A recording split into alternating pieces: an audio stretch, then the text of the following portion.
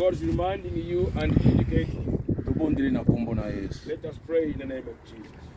Seigneur, nous te disons encore merci, Père éternel. Papa, merci parce que tu as commis tango oyo tolingi kokabona réellement na mwana biso. Nzambe, yo nde opesaki biso ye mpo ye kozwa ye na pokwa oyo na ntongo na mokolo na lelo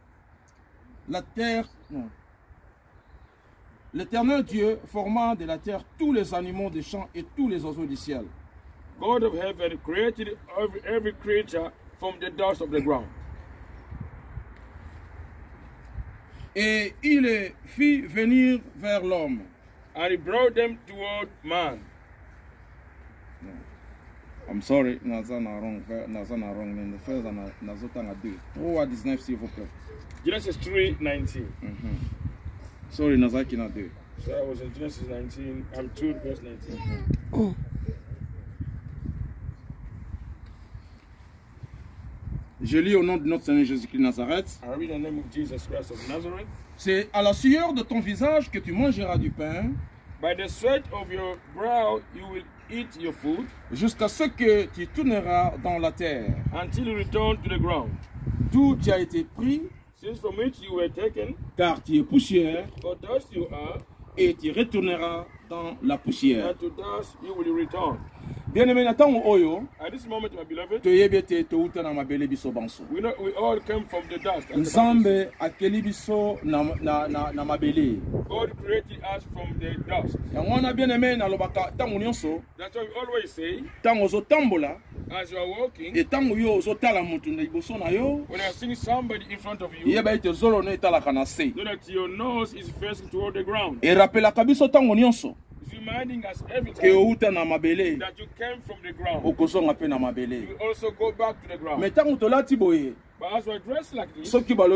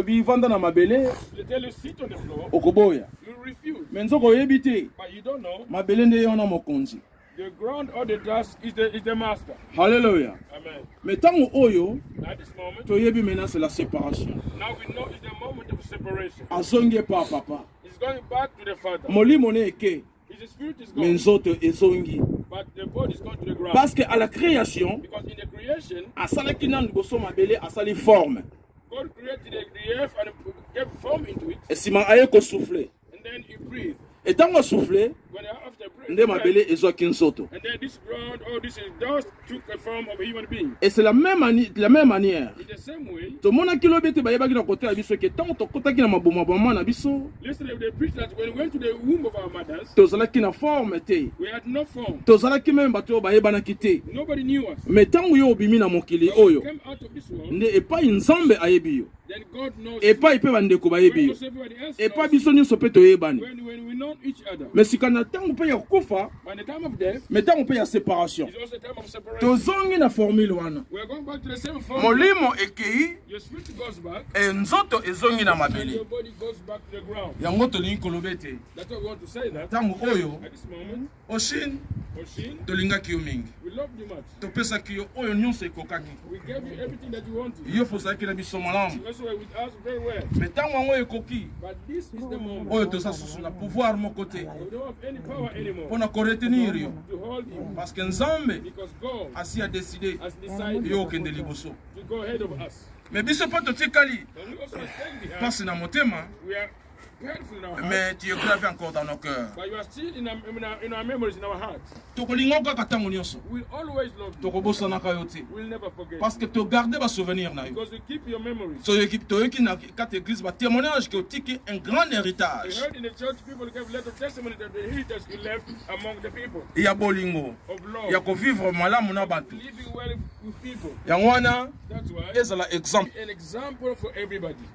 yango ete oyo biso tokoloba kaka na, na, na, na ntango oyo The only thing we say at this moment, pour dire à papa, maman et les enfants et tout le monde qui est dans la communauté ici présent, to the father, mother, children, everybody in the community, tolobi merci Nkolo. We say thank you Lord. Lolonge yo odesidaki. The way you have decided. Ya kozwa mwana biso. To take back what you created. Yango tokoloba kaka Nkolo. I will say Lord. Sono lokumu. Be glorified. Tika ete kombo na ekumisama tango. Always. tokoloba susu eloko moko te me tokolobi na kosukisa oyo tokoloba ete nzambe merci amen, amen.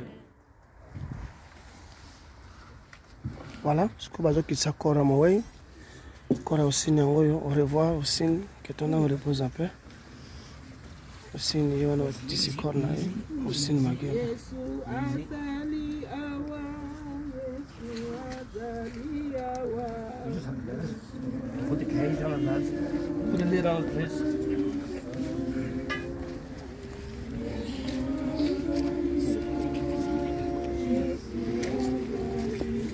Mai, mai bun. Fucking do one second. yango mona tie bato bamona te na bareshe baboya yango oyebi yango S'il vous plaît, tobengi moko ya ba parents. ezongi na mortgage hein? mais oui basali yango kambango bango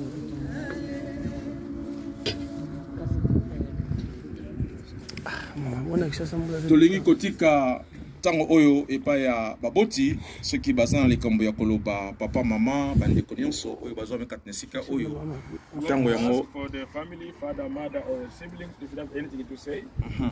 nde tolingi kopesa bango espace mpe bakobwaka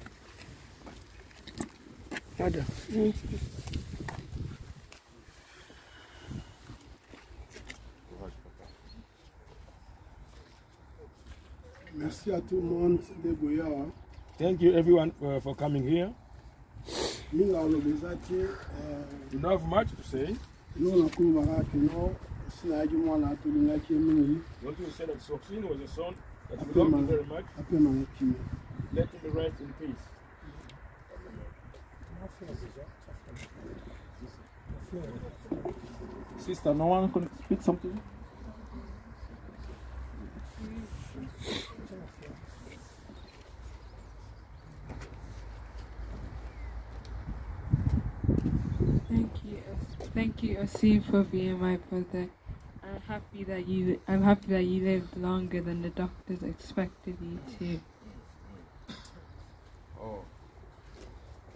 Amen, amen. Amen, amen. Moi, na biso alobi eloko moko motuya oto capte te. Ba docteur balobaka ya kosala même 25 ans te, akosala même 18 ans te, mhm. akokende. Mais Nzambe a confondre maloba na bango. Parce que Nzambe nde ye souverain. Alléluia. Yango te na bomoi na biso totie eliki epa nkolo yesu amen moto mokili alobaka ni kaka akoboma yo meme enfant aleluya me nzambe soki alobi nanu te makambo oyo nyonso bato baloba eza nango na ntina moko te aleluya balobi ete malédiction sans cause eza nul esanze tika ete nzambe apambola biso wana tozwi bafleur tobandi kobwaka deja na libulu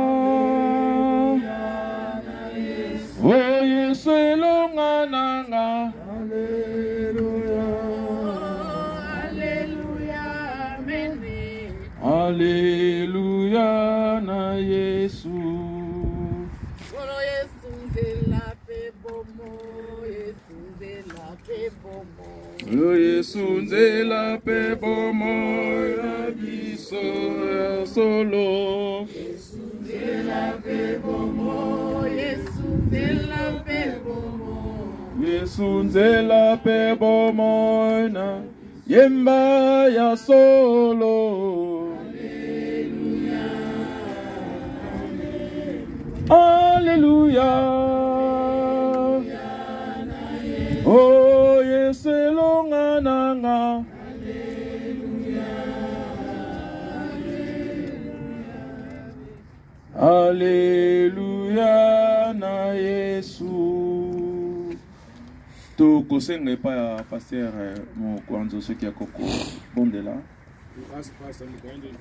tobondeli kolo topamboli yo tokumisi yo mpo oza nzambe malamu bibelo bie te na circonstance nyonso toyebaka kokumisa nkombo na yo Oyo sambe yo decidaki, o decidaki selon ta souveraineté. Tikete nkolo yo pesa kimia surtout na libota epa papa wuli na libota mobimba. Kimia na Nzambe tika ko wumela na libota o oh, Seigneur. To telemeli o oh, nyonso ezali Seigneur esprit ya souvi, esprit nyonso ezali akufa ezala mosika na kati ya liboto na le nom puissant de Jésus-Christ. makila na yo nzambe ebala kobomba ko libota oyo epesa nko makasi na mama hortense mpe bana na papa willy kimia na yo nzambe ezala partage na bango dans le nom puissant de jésus christ olobi boye amen, amen. amen.